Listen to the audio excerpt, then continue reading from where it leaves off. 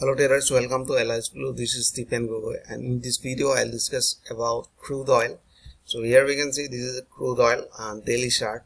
So uh, first uh, you can see here uh, when they broke this neckline here and we set a target around 4000 right.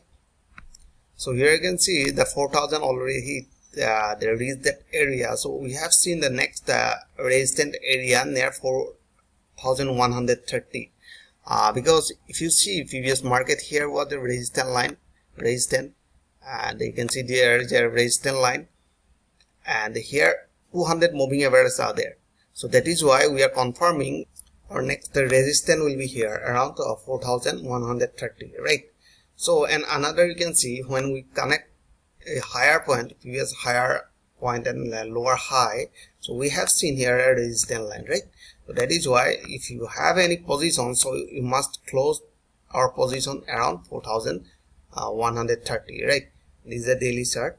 So if you wanna see in a four hour chart here so four hour chart just uh, they broke this 200 price just uh, sustaining above this 200 moving average and we are looking for previous higher point.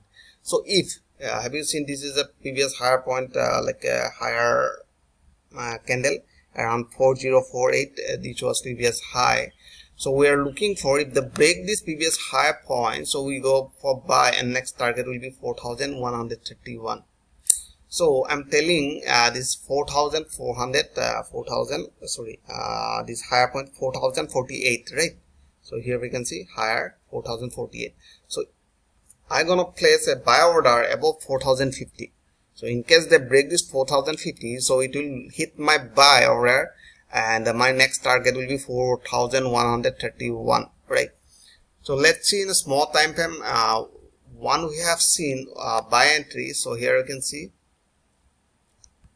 This is the previous higher 4048 so i'm uh, putting just above this area buy order and next target will be uh, 4130 right? So in case they break this level right. Uh, that means that is 4011 point here. If they break this level and price again push up toward uh, this resistance line and I'm looking for create a new lower low. So if they create a new lower low according to the price action method we'll go for sell and our target will be near 20 uh, sorry 200 moving average right? So I'll close my position here right so I hope you enjoyed this video. If you like this video, please like and subscribe. Thanks for watching.